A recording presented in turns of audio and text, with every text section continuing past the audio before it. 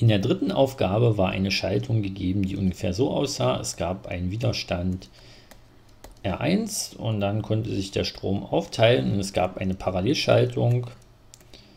Auf der einen Seite war ein Widerstand R3 und auf der anderen Seite dieser Schaltung war eine Reihenschaltung aus dem Widerstand R2 und einem Widerstand Rx.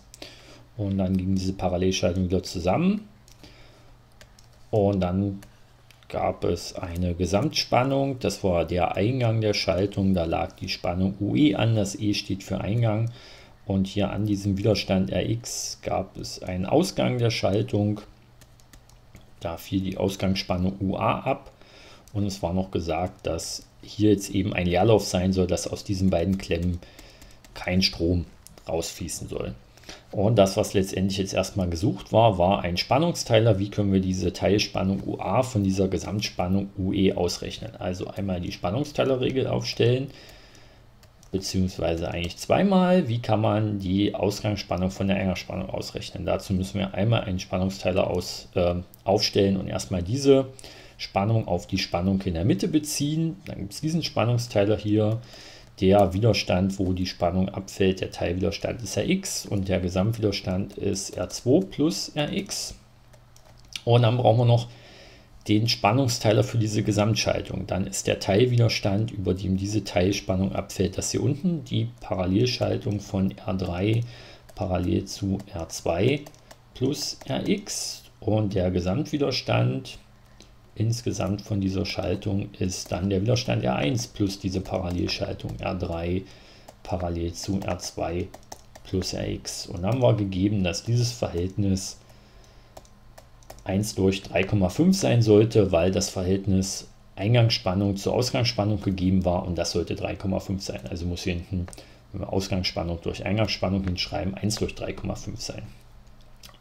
Und jetzt sollte man den Widerstand Rx in der Schaltung so bestimmen und so ausrechnen, dass genau dieses Verhältnis sich ergibt. Fairerweise muss man jetzt sagen, an der Stelle ist eigentlich die Elektrotechnik vorbei und das, was jetzt folgt, ist reine Mathematik, diese Gleichung umstellen. Ähm, andererseits gab es allein, um das hier oben aufzustellen, schon mal mehr als die Hälfte der Punkte, sodass, wenn man sich jetzt so ein bisschen bei dem Umstellen vertan hat, das nicht ganz so weh tut. Nichtsdestotrotz gab es schon ähm, genügend Probleme und Fehlerchen hier oben, diese Gleichung aufzustellen. Ähm, ein so ein äh, ganz häufiger Fehler war, dass man das alles irgendwie versucht hat, in eine Spannungsteilerregel einzu reinzupacken. Nein, man muss die Spannungsteilerregel hier aufgrund der Topologie der Schaltung eben zweimal hintereinander anwenden. Ähm, dann, ja, dass irgendwie Rein- und Parallelschaltung vertauscht wurden oder hier nicht so richtig erkannt wurde, dass man meinetwegen, wenn ich jetzt diesen, ähm, diesen Teil hier unten, dass ja der Widerstand R3 eben dann doch noch parallel ist zu dem hier, ne? und hier hinten meinetwegen dann der R3 vergessen wurde in der zweiten Anwendung der Spannungsteilerregel. So, nichtsdestotrotz, jetzt ist Rx gesucht. Jetzt können wir gucken, hier vorne taucht der x auf, hinten taucht der x auf. Und dieser Term und dieser Term, der taucht hier zweimal auf. Und man könnte sich das Leben schon mal ein bisschen einfacher machen, wenn man hinten den Bruch einfach mal durch das teilt. Ja, dann ähm, würde das hier wegfallen und da wegfallen. Und hier müssten wir dann noch durch diesen ähm, Term dort teilen. Dann vereinfacht sich das schon mal ein bisschen, weil x dann hinten nur noch einmal auftaucht. Also schreibe ich mal den Bruch hier vorne einfach ab. Und hier hinten machen wir genau das mal.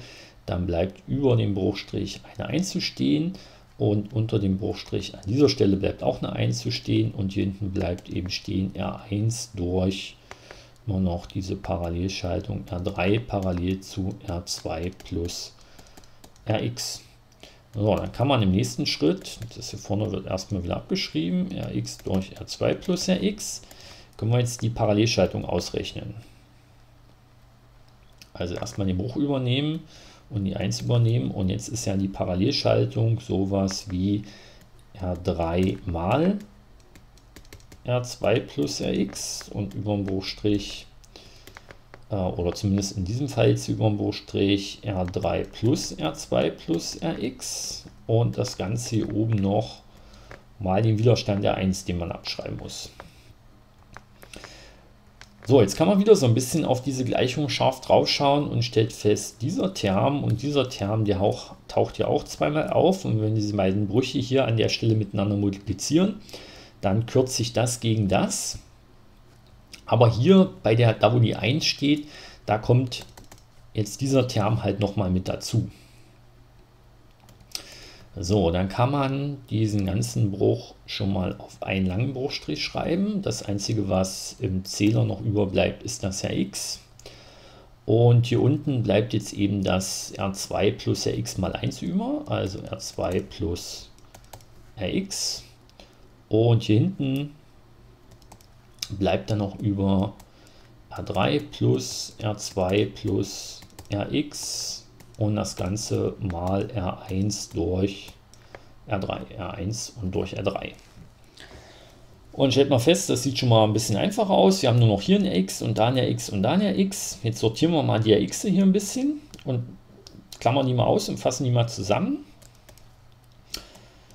Das Rx im Zähler schreibe ich ab und gruppiere das jetzt mal so, dass wir halt rechnen ähm, alles was konstant ist. Dann haben wir hier R2, dann haben wir R3 mal R1 durch R3, kürze ich das R3 weg, da bleibt also nur ein R1 über. Dann haben wir noch ein R2 mal R1 durch R3. R2 mal R1 durch R3.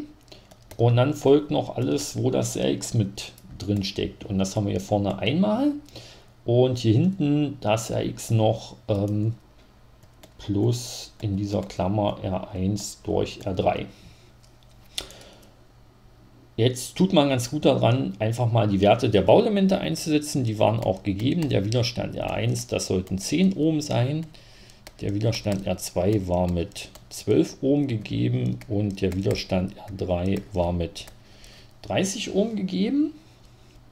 Und dann kann man diese Werte der Bauelemente einfach einsetzen.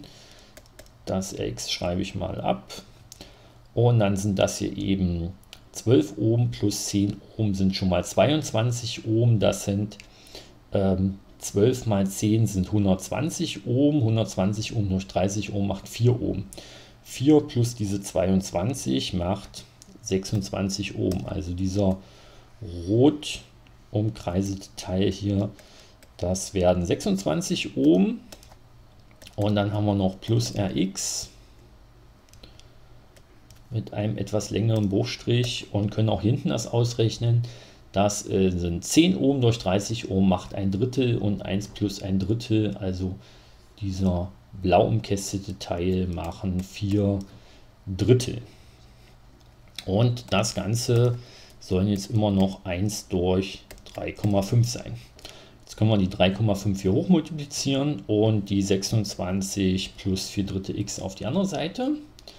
Dann stehen hier 26 Ohm plus 4 Drittel mal Rx und auf der anderen Seite stehen eben 3,5 Rx. Jetzt kann man die ähm, 4 Drittel x hier rüberholen ähm, dann bleiben hier 26 Ohm stehen und 3,5 sind ja so viel wie 7 halbe. 7 halbe minus 4 Drittel macht 13 Sechstel Rx und jetzt kann man das einfach noch ähm, ja, durch die 13 Sechstel teilen und das Ergebnis schreibe ich jetzt mal hier drunter und kommt dann darauf, dass das Rx genau 12 Ohm sein müssen in dieser Schaltung, damit das Verhältnis von der Eingangsspannung zur Ausgangsspannung genau 3,5 ergibt. Und damit war diese Aufgabe dann auch gelöst.